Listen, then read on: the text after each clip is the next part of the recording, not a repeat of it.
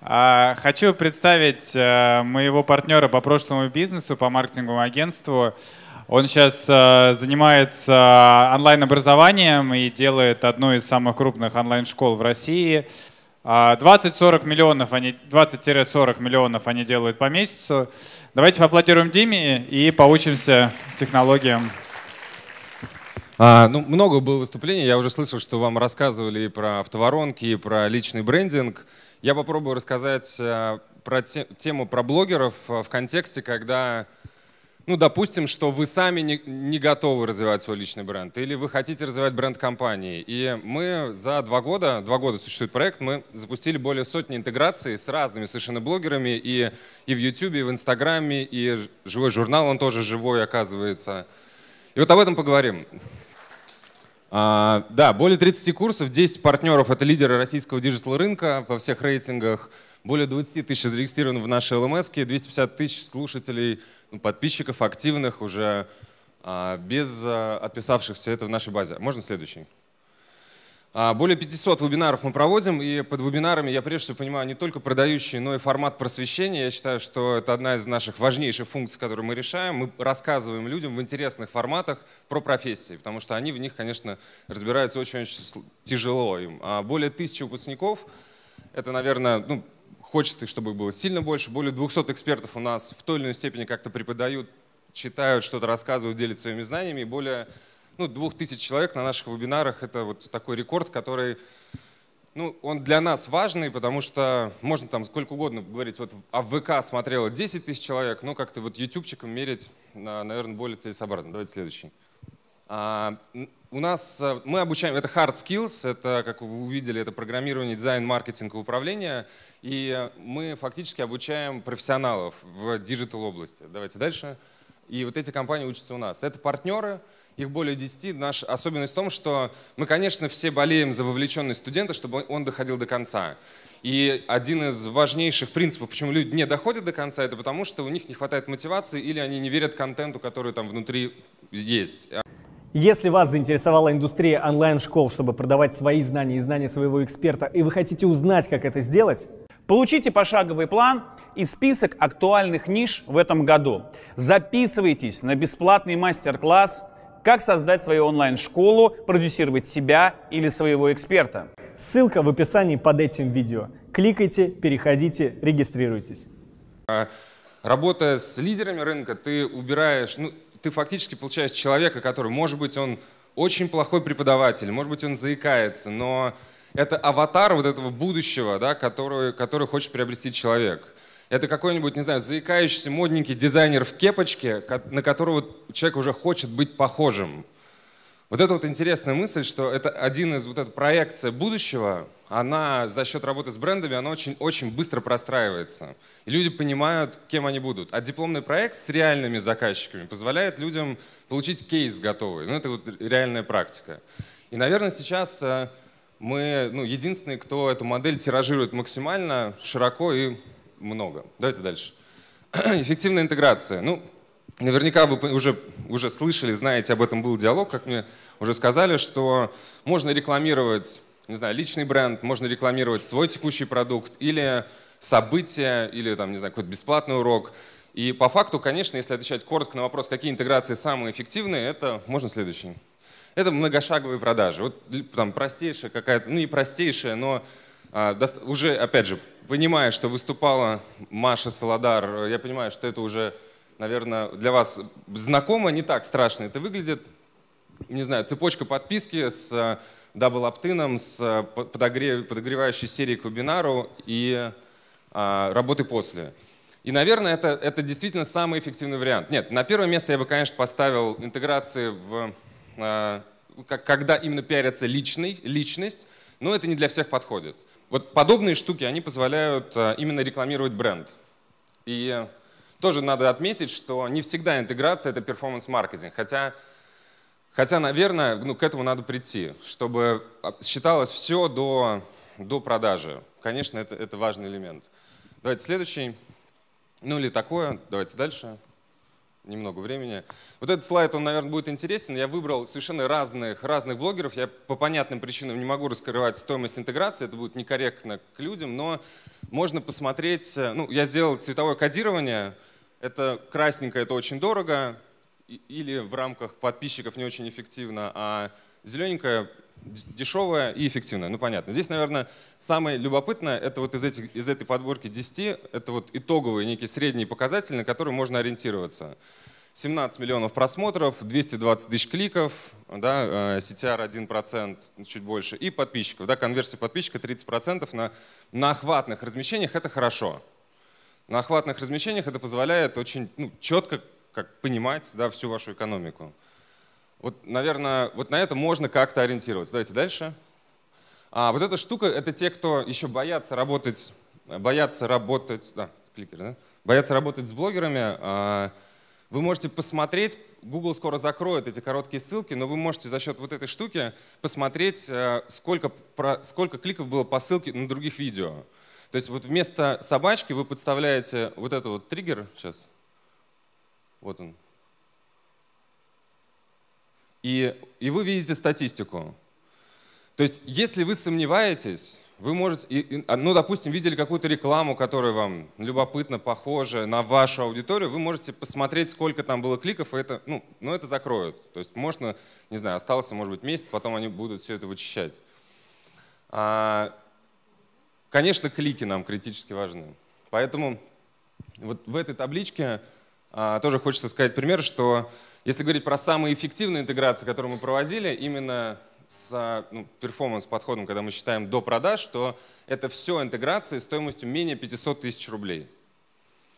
А это о чем говорит? Что подборки маленьких блогеров работают сильно лучше, чем а, ну, часто интеграция с каким-то большим. Если вас интересуют онлайн-школы, но много вопросов и сомнений, у акселератора есть бесплатная 30-минутная консультация с экспертом, который готов ответить на все ваши вопросы, разобраться с нишей, который поможет найти эксперта и расскажет, как с ним договориться. Он расскажет вам о тех шагах, которые вам нужно совершить, чтобы у вас появилась своя онлайн-школа. Регистрируйтесь по ссылке под этим видео. Их надо делать очень много. Если говорить про... Ну, это про YouTube, конечно. Если говорить про э, ЖЖ, то один, одна из самых успешных интеграций с точки зрения брендовых запросов и самых неэффективных в, перформанс-формате, что там она даже, не знаю, в первый месяц не окупилась по деньгам, но, э, но настолько круто проиндексировалась. Статья в блоге у Варламова, он написал статью о том, как мы обучаем дизайну. Ну, он как дизайнер написал в этом хорошую статью. И статья максимально быстро проиндексировалась в выдаче. И как только человек вбивал Skillbox, он видел авторитетного блогера, который говорит о Skillbox е. И это очень, очень сильно влияет, естественно, на брендовые запросы и влияет на конверсию брендового трафика. Что он начинает лучше конвертироваться, когда он в выдаче видит ну, каких-то лидеров мнения, которые об этом говорят. Но по кликам было все очень плачевно. А, если говорить про форматы, там есть приролы, интеграции, спецпроекты. Работают, ну, в, в нашем, на, по нашему видео работают только спецпроекты и интеграции. Спецпроект это какая-то, ну, вот Сережа, мне кажется, намного лучше меня может рассказать про спецпроекты, то, что они там делали, в частности, с Димой. Но э, интеграции это хороший инструмент, который может давать сразу много, много трафика, опять же, если вы умеете его приземлять не всегда, вот одна из важных, один из важных моментов, как вы думаете, какая самая большая ошибка при работе с блогерами, вот с YouTube? Ну, называйте, давайте. Не та целевая аудитория. У кого? У блогера? Есть. Еще. Неправильный бриф. Есть. Еще. Не согласовали ролик. Хорошо. Еще. Не проверить выход. Окей. Есть. Не начали считать, не было аналитики и все прочее. Да, самое, ну, блогера? Да. Плохая интеграция, да. Самая большая проблема, и она не так очевидна, она лежит в следующей плоскости, что на самом-то деле а, все зависит только от вас. И по факту интеграция зависит от того, насколько вы хорошо знаете собственную аудиторию. А в этом есть проблема. Потому что часто вам кажется, что это, ну, у вас какие-то там, не знаю, очень маленькое количество данных о них. Вы их не, вы их не опрашиваете максимально глубоко. Опросы могут доходить там, до 100 вопросов и так далее, чтобы четко понимать, кто на самом-то деле, кто ваш выпускник, конечно. То есть если говорить про вообще самую большую цель в, в, в, в обучении и в образовании, то, конечно, у нас у всех KPI это наши выпускники, потому что как только мы получаем выпускников, у нас сразу же мы контент, который делаем с ними в виде отзывов, в виде дипломных проектов, мы сразу же начинаем использовать по ходу курса, увеличивая конверсию, прохождение курса, доходимость до конца. И, естественно, используем в маркетинге, удешевляем таким образом а, маркетинговые активности. Но самая большая проблема при интеграции, что вы не знаете свою аудиторию и приходите к блогеру, рассчитывая на то, что вам сейчас все подберут. Вы приходите часто в агентство. Во-первых, я всем рекомендую работать только с агентствами через блогеров, потому что с блогерами нужен посредник в большинстве своем. Вам не очень понравится с ними договариваться, поверьте. Это, они будут пропадать, не выходить на связь. И, ну, вас это не должно волновать. Они, они как бы медиа, они могут себе это позволить. Поэтому нужны посредники, которые ну, на первые несколько интеграций да, вам будут рассказывать, как лучше работать. Но вопрос, кто ваша аудитория, и без того, без профиля детального, то есть ну, как минимум там трех-четырех портретов, которые вы можете описать в брифе, вот был вопрос про бриф, что вы в брифе должны описать эти портреты. И тогда вам агентство как-то попытается подобрать, но все равно вы не застрахованы. Так вот, я к чему? Я к тому, что не всегда блогеры, у которых вы размещаетесь, вы не всегда будете, ну, а, вам не всегда будет нравиться тот контент, который есть в этом канале, и вы будете говорить, да нет, моей аудитории там нет. Ну, это вы так, вы не хотите, чтобы они такими были, но, к сожалению, будет и есть. И вот я когда увидел этот ролик у Сындука, который набрал там 3,5 миллиона просмотров, мне было плохо немножко. Я не буду его включать, вот, но но он, он был самым эффективным по количеству кликов, переходов и вообще ну, по всему. Конечно, есть еще Facebook, есть еще Telegram, в которых, э, наверное, самое, ну как бы, если говорить про эффективность, то до недавнего времени Telegram для нас был самым эффективным каналом именно по, ну, порой фактически. Сейчас YouTube, ну как бы, понятно, Telegram упал далеко, хотя все равно показы есть, но с YouTube ничего не сравнится. YouTube может позволить вам за один месяц собрать, вот мы, мы в декабре на наш марафон собрали, марафон профессии будущего, 50 мастер-классов, мы собрали базу порядка 80 тысяч, вот за, а, ну, очень аккуратненько, по хорошей цене мы собрали 80 тысяч человек за один месяц, из которых потом отписалось всего 15%, потому что мы правильно ее сегментировали. Сегментация – одна из ключевых ошибок да, в дальнейшей работе. То есть вы собираете, а дальше не сегментируя, пытаетесь рассылать какие-то оферы. Поэтому, конечно, аудитория, понимать, кто они, что они, а где они смотрят. Ну, в Телеграме есть такие картинки. Но это... Ладно. А...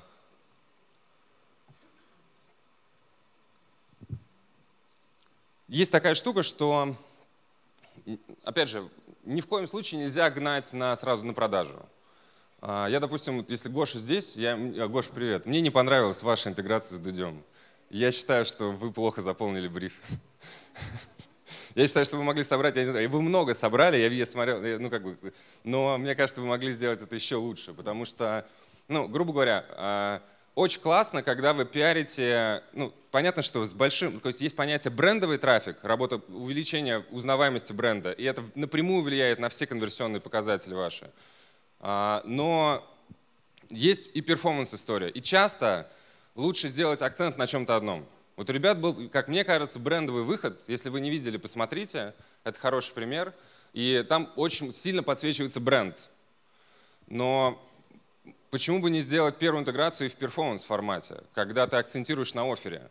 И у нас самые эффективные э, все интеграции были фактически без бренда. Там очень мало светился сам бренд Skillbox. И очень много события один офер, одно короткое предложение, без, ну, как бы, с конкретными выгодами и бесплатно. И тем самым вы собираете максимальное количество трафика.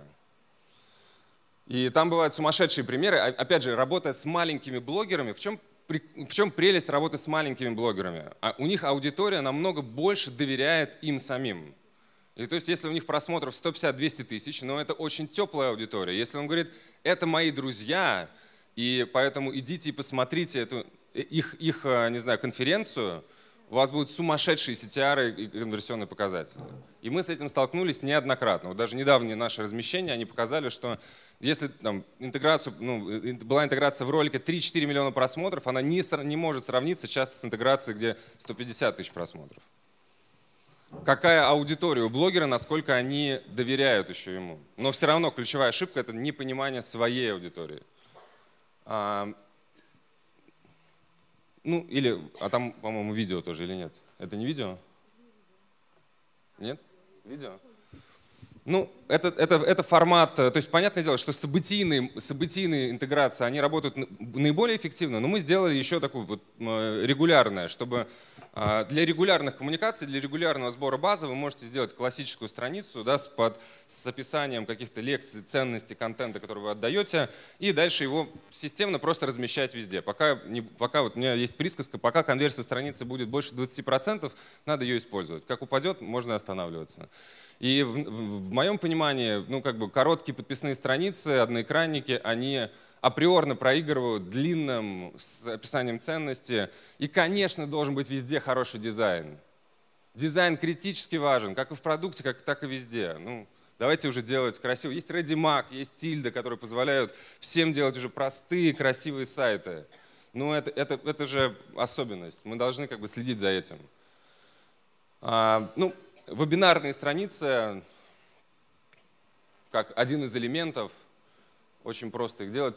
Я, я после вебинаров, мы давно отказались от того, чтобы на вебинаре показывать, потом еще отсылать его на, на, на страницу курса, потому что ну, это лишний шаг, и мы делаем вот такие странички с э, оффером под, после, ну, после нажатия кнопки.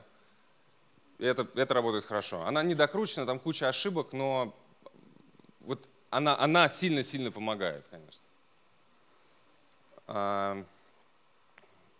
При этом у нас надо отметить, что вообще, если говорить про наши коммуникации, у нас примерно 60% это CPC-трафик. А, мы работаем, мы 60% клиентов получаем с прямого трафика. Ну, контекстная реклама, таргетированная реклама, посевы, все, все что угодно. Мы используем все каналы. И страница курса критически важна она должна быть как минимум адекватной, хорошей, хорошо сделанной. Но это, знаете как, это как с аналитикой. Да? Если вам самому не нравится разбираться в аналитике, то вам придется только покупать эту компетенцию. Нам очень нравится внутри говорить про дизайн и про все визуальные коммуникации, поэтому у нас это уже докручено, и, и сидят ребята внутри. Поэтому есть и showreel ы, и, и классные страницы, и все. Ну покупайте эту экспертизу, не пытайтесь разобраться сами. Digital очень сложный. Это ну, фактически невозможно. А вот эта страница, которой я особо горжусь, А, это страница выпускников. И здесь мы показываем реальные проекты. Вы сейчас увидите, что значит, а, ну, как, как бы, когда вы показываете для а, вашего студента, ну, вы показываете проекты, которые он может сделать, которые сделали уже другие выпускники, и они на уровне там, агентства номер один в России, его это дико мотивирует. А почему я об этом говорю? Потому что как бы, собрать эту базу – это полдела. Понятное дело, что вся основная работа, она идет дальше. Если нету подобных э, коммуникаций, нету подобных страниц с описанием, с примерами и так далее, то все это будет, ну, как бы понятное дело, что воронка будет сужаться. Я выделил 10 шагов, э, и как раз за 7 минут я, наверное, их расскажу. Просто пошагово, чтобы было, было просто понятно. Но это, вот, это обычно, кстати, вот многие спрашивают, а сколько в часах это занимает разработки. Я вот нашел старый слайдик, э, вот, аген, агентскую смету, а, и просто показал, вот сколько в агентстве занимает это, если все пройдет очень гладко. Это 670 часов на разработку, и, и, собственно говоря, умножить это можно примерно на 2 с учетом всех правок. То есть более тысячи часов занимает на самом деле адекватный, ну, вот именно большой, если, если это делать все с агентством, если не делать самому. Можно делать быстрее, но, опять же, все равно в эти цифры вы придете, когда начнете это все докручивать. Кто ваша аудитория? Вы ее не понимаете. У нас был очень смешной кейс с агентством Engate, когда мы делали курс интернет-маркетолог от, ну, с нуля, по сути, полный курс про интернет-маркетинг, большое агентство. И э, мы, как, мы когда запускали, мы думали, естественно, это будут начинающие маркетологи, новички, которые хотят сменить профессию. Оказалось, что как только прогнали там, ну, за год уже там более тысячи студентов, и когда прогнали первые 200 или 300, собрали профили, именно собрали портреты целевой аудитории, очень, очень подробные. И оказалось, что 50% из них руководители и а, владельцы компаний, малый бизнес. Потому что весь малый бизнес сейчас понимает, что только digital. А, еще 35% это, там, грубо говоря, уже серьезные маркетологи, которые хотят расширить компетенции, и всего лишь 15% новички. А мы проводили, там, не знаю, вот ошибка, да, а мы проводили вебинары, как, что такое контекстная реклама и как ее запустить. Конечно, тот, ну, как бы, то есть не всегда продукт, то есть вы не сразу можете понять ваши портреты, вы не всегда их сможете сразу выделить. Иногда надо вот после первого прогона, первого пролива трафика и первых студентов, надо их еще сильнее профилировать, чтобы понимать вообще, что, что там на самом деле происходит. Вот такая забавная ошибка. И что мы сделали? Вот у нас история. Да? Мы, мы, люди приходят на вебинары, они как-то конвертируются, а в итоге мы видим, что там нет новичков, а руководители плохо ходят на вебинары. В итоге мы полностью меняем стратегию с, и, и всю, все коммуникации в рекламных баннерах на, на, на прямой трафик. И тут же курс становится самым продаваемым у нас в сетке. Просто потому что ну, как бы часто руководитель он готов покупать без вот, вот этого касания. То есть просто сделайте большой опрос дайте им какую-то ценность. Возьмите, не знаю, почитайте, как делаются большие опросы, или закажите разработку опроса, чтобы у вас потом на выходе было несколько портретов. И вы получите кучу инсайтов. Вот банально спросить свою аудиторию, каких блогеров вы смотрите, вот мы прям не знали никого, кого они назвали, особенно там дизайнеры. Они как написали список, там вот, ну, что вообще, откуда это? Что самое интересное, интересное и полезное? Вот это, это вот важный тезис, да, что вообще интересный кейс. У нас есть очень мощный курс с агентством Creative People. Ребята делают реально лучшую рекламную графику в нашей стране. И когда мы, мы думали, что мы очень крутую механику придумали внутри, что а, один из модулей — это реальная фотосессия, где мы рассказываем, как человеку делать графику и как снимать, какие типичные ошибки. Нам казалось, что этот модуль просто должен вырвать сознание у студента.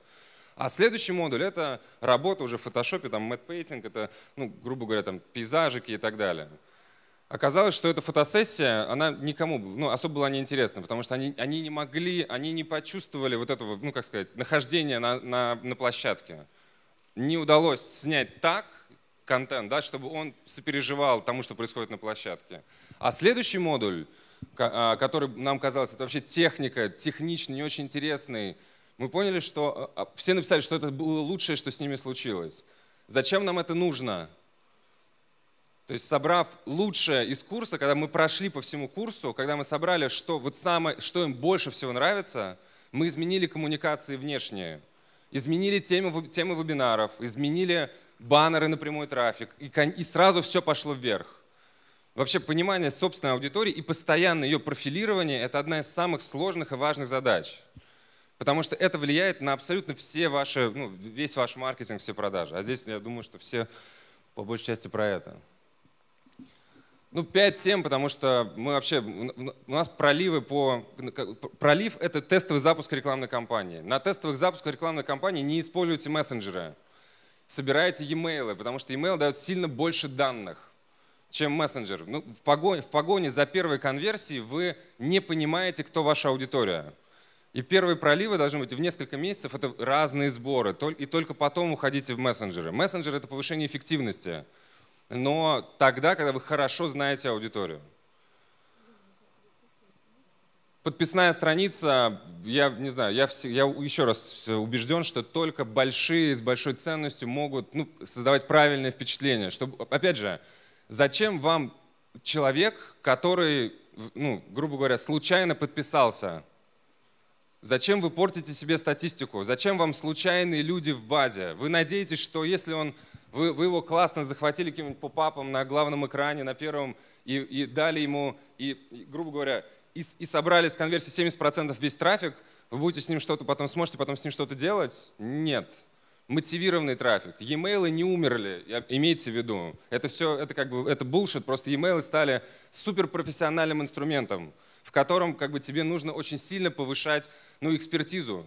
Хватит уже слать рассылки по всем. Четко, жестко сегментируем, постоянно, постоянно собираем опросы и аккуратненько работаем с базой. E-mail будут жить еще, не знаю, несколько лет точно. Но мессенджеры — это то, где мы, мы должны все развиваться, потому что это, ну, ну, это, это, сам, это совершенно иной вид коммуникации.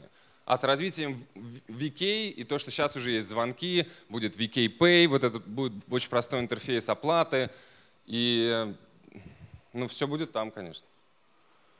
Специальное предложение, оферы, ну, опять же, наверняка тоже об этом кто-то из спикеров говорил, но э, оферы всегда должны быть составными. И скидка, и подарки, и что-то еще. Они, ну, и, конечно, ограничены по времени.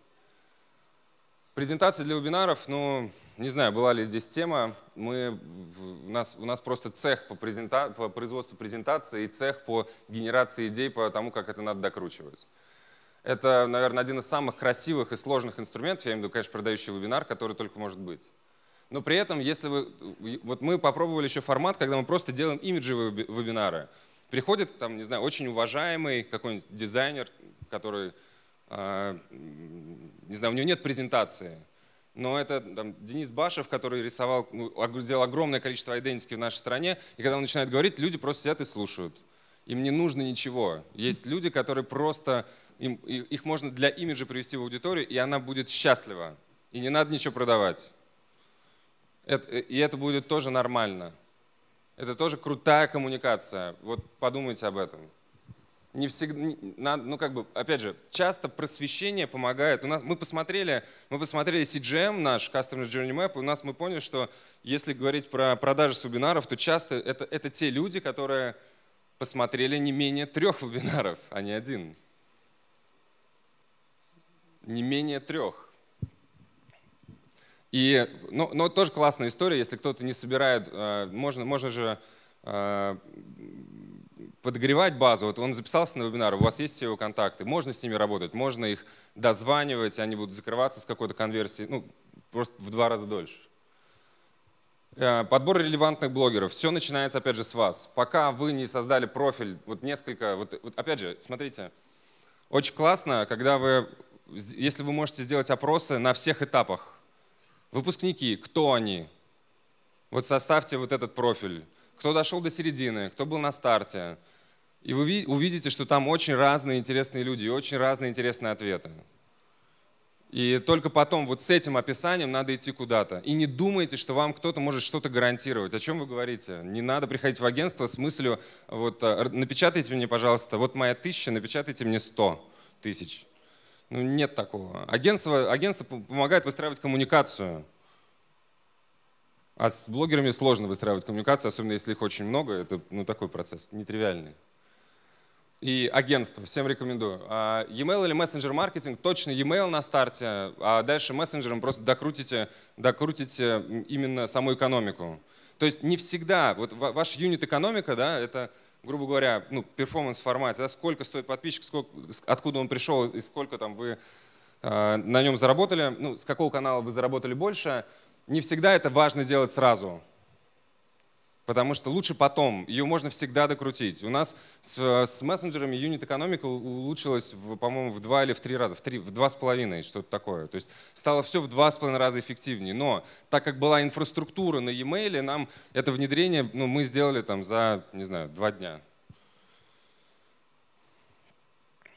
Точно скрипты точно вот очень вот это вот всегда скрипты вот, ну всегда скрипты определяют. Вообще если ваши менеджеры понимают с какого с какого вебинара пришел человек какая была вообще на какой офер и так далее если это все детально прописано проработано намного лучше естественно идут продажи. Ну сценарий продаж конечно не скрипты. Я не верю в готовые словоформы. А отдел продаж это ну это большое увеличение для ну естественно ну, конечно, надо с этим работать. Но и надо работать а, и обезличенными, и обезличенной коммуникацией. И в мессенджерах тоже надо строить э, продажи. Продажи только через мессенджер. И надо делать и то, и другое. И еще подключать колл-центр. А, я никогда не забуду, как э, глаза своего директора по продажам, который мне говорил, Дима, у нас будет очень много людей в, э, в Новый год. Давай возьмем несколько колл-центров, чтобы они обзванивали базы. Дима очень сопротивлялся, а когда он понял, что ему приходит, там, не знаю, по 500 там, заявок в день, ну, там, в пике у нас было в декабре где-то 600 наверное, заявок, ты понимаешь, что это огромный поток, вот, он, он как бы, он, он сказал спасибо, что я его дожал с этим вопросом, потому что часто скорость обработки, скорость обра... первичной обработки она решает. Не во всех бизнесах, но иногда, вот, особенно вот в нашем случае точно, что скорость первичной обработки, чем быстрее, тем выше, естественно, вероятность того, что лид закроется. Хотя бы первично, узнать, что как, зачем оставил. Дальше можно, если есть вопросы, переключать на менеджер, да, делать ступенчатый отдел продаж. Но Это работает. Ну и, конечно, аналитика. Это, это, это надо покупать. Вот э, мне повезло, что внутри есть э, люди, которые хотят разговаривать про аналитику, им нравится это делать.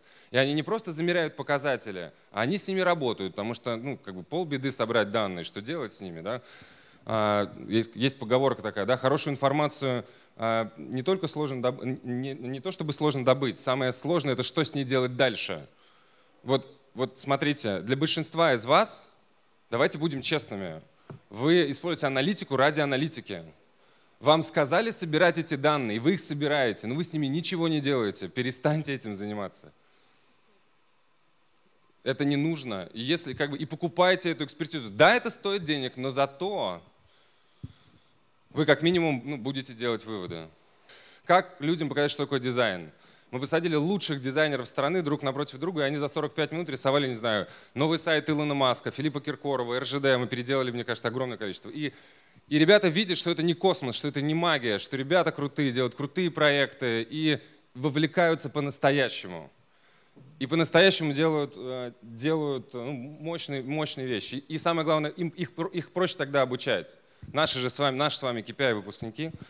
Но еще в чем суть, что когда ты превосходишь ожидания, делая подобные мероприятия бесплатно, приводишь им не только лучших из России, мы привезли Флавио Альбина из студии Platinum, бразильцы делают космос, бразильцы лучшие рекламщики. Мы привозим иностранных спикеров и все отдаем бесплатно. И все для чего? Потому что я считаю, что не нужно никогда работать с людьми, у которых нет мотивации что-то делать. Это самая большая, вообще не надо толкаться в камень, это, это бред. Наша с вами задача искать тех, кто уже хочет изменений, и эти изменения всячески поддерживать. Вот это наша с вами функция образовательная. А дополнительные мероприятия, вовлеченность, они помогают ну, просто ребятам поверить по-настоящему. И, и вот давайте все вместе научим, научим наших студентов восхищаться и научим их, будем их восхищать профессией, курсом, не знаю, делом, что вы делаете. Ну, как бы, но только вот такими принципами. Спасибо. Дим, задержись. Спасибо. А, немножко хотелось бы тебя помучить а, вопросами о том, как ты вырос. Интересно это было бы узнать, да? Вот как, а, то есть вот какие бы ты мог выделить основные несколько факторов, а, которые сделали так, что Skillbox стал делать там 20, 30, 40 миллионов в месяц а, вот в такой сфере в онлайн-образовании? То есть вот какие бы элементы, которые ребята могли бы, например, повторить? А, партнерство, ну, шаг номер один. А, сильное партнерство, смотрите, у меня есть присказка. Вот вы, вы в чем-то, вы не можете сильны быть во всем. Не, есть такие гениальные ребята, ладно, есть, но, но их очень мало. В большинстве случаев как бы вы в бизнесе, в партнерстве выполняете какую-то одну функцию. Не знаю, мне кайфово разговаривать про маркетинг, про продажи. Это то, что я делаю хорошо. Но про продукт ну как бы мне тоже нравится, но есть люди, которые в команде говорят об этом намного лучше, чем я. Про ЛМС, про дизайн, про все, про видео, про все коммуникации, про рекламу, ну про там, я имею в виду, э, рекламные креативы. И вот смотрите, что такое партнер? Партнер для вас, вы можете там, не знаю, его продать долю, отдать долю. И, не знаю, продать долю, не знаю, к примеру, какой-то кусочек сейчас, чтобы к вам вошел человек или там поделиться им. Как, ну, и вы можете потерять как, как будто бы какие-то деньги. Не знаю, 500 тысяч долларов вы как будто бы отдадите человеку. Это в рамках там, если, если ваша... Сколько 10... сейчас у тебя партнеров? Сейчас, сейчас расскажу. И а, вот важный момент, что сейчас это 500 тысяч долларов, а в 50 вы будете готовы заплатить, не знаю, несколько миллионов долларов за один год. Скорость. Партнеры предопределяют скорость. И правильная команда — она как бы важна. Вот я в агентском бизнесе всегда там, не знаю, директор, который отвечает за продажи, не знаю, креативный, креативный или арт-директор и технический директор. Такой состав. Что здесь для меня пока загадка. Но точно, что а, очень жесткое разделение на продукт и на маркетинг. Это точно. Остальное там, ну, техническая составляющая, методологическая, ну, Подпишитесь на канал, поставьте лайк этому видео и комментируйте, что бы вы хотели узнать еще. И мы постараемся ответить на все ваши вопросы в следующих интервью. Ну да. То ну есть да. ты рекомендуешь, чтобы один партнер был на продукте, один партнер на маркетинге? Да, я рекомендую, чтобы ну, максимально ускориться, нужно собирать команду. У нас много партнеров, у нас много миноритариев, у нас там три основных партнера, три основных владельца, четыре миноритария сидят внутри. А, колхоз большой, но я люблю колхозы. Мне... То есть у Димы просто такая стратегия, что, ну, ну сука, я понял, подкорректируй да. меня, что вот есть какая-то сфера, которая как бы вот есть сильный профессионал, профессионал надо как-то привлечь в команду, чтобы он там дал свои компетенции, он дает ему какую-то определенную долю от проекта, чтобы тот дал свои компетенции. Вот, видишь, там not bad пишет, да. Not bad. Правильно я сказал? Примерно, да. Так, давай что, что еще? То есть у вас э, же стратегия, она строится преимущественно на вебинарах, правильно я понимаю? Не, не, уже Сейчас нет. уже нет. Окей. Уже год, как мы, у нас год, полтора года назад было 60% трафика с вебинаров, мы когда мы немножко залезли в, вообще в, в тематику, в тему, мы поняли, что это ошибка, и что можно просто прямым трафиком качать ну, до 60%. Вот, э, да. То, что вот, я сейчас подкорректирую меня тоже, когда последний раз вот мы с Димой общались, и я смотрел их страницы, то есть а, у вас есть сразу продающая страница, где собирается имя, email, телефон, там же пробный урок, по-моему, висит. Не да? на всех, не на всех. Не на всех, Мы но где-то висит, где-то да. нет. То есть он не делает там, типа, получите бесплатный контентик, бесплатные уроки и потом платные. Да? Ты сразу гонишь на страницу продажи и потом прозвонами отделом продаж уже их дожимаешь. Делаем все, но прямой трафик, вы его просто не дорабатываете. Вот смотрите. Прямой я... трафик на страницу продажи. Да. Вот один, okay. один момент очень любопытный. Сейчас вот я, была классная, был классный риф, и классный парень выступал из агентства Тринет, он сказал такую вещь, что чего мы с вами, как бы, ну, я не знаю, те, кто профессионалы в курсе, но 82% запросов в Яндексе — это сложные составные запросы. Это 4 плюс слов. 3, 4, 5, 6 слов. Представляете? Одно-два слова — это 18% запросов. Представьте, сколько вы недополучаете. Там вот, ну, ну, банально, то есть люди огромным количеством ищут информацию, просто ее надо уметь правильно приземлять. Надо, ну, как бы, надо быть хорошим специалистом в контексте, чтобы, ее, чтобы его запускать суперэффективно. Вот эти сложные составные запросы для многих это голубые океаны прямого трафика, который можно просто завтра забрать. Сейчас, ну давай деньги, просто да. пример приведем вот э, таких страниц, как, как ты называешь прямой трафик. То есть ты не даешь бесплатных уроков, бесплатных. А вот я показывал лендинг, они видели. А, то есть это ну, сразу просто продающая страница, да. соответственно, да? да? И насколько я понимаю, у вас сильно развит вот именно отдел продаж. Сколько да. у вас сейчас человек в отделе продаж? 17, что-то такое. 17 человек, то есть основной, функ... основной ну, функционал ну, прогрева, получается, и закрытия, он лежит на отделе продаж, собственно. А, да, ну, можно но, так ну, сказать? Бы, да, конечно. То есть, э, ну, в чем мне еще интересна Димина модель, то есть тоже он а, делает большой акцент больше на управление, а, соответственно, там это и отдел продаж, и поддержка, и не такой сильный акцент на то, чтобы это было все автоматизировано. Правильно я понимаю? А, автоматизировать можно в любой момент. Это вопрос всегда денег. Вот самое важное, это что вот, да, да как занять, во-первых, как бы скорость увеличения объема и э, просто тестировать гипотезы. Самое, ну, вот, вот это самое важное. Инвестируйте в продюсеров внутри. Это очень, э, очень важно. Окей, спасибо. Похлопайте Диме. Спасибо. Дима. Спасибо. спасибо.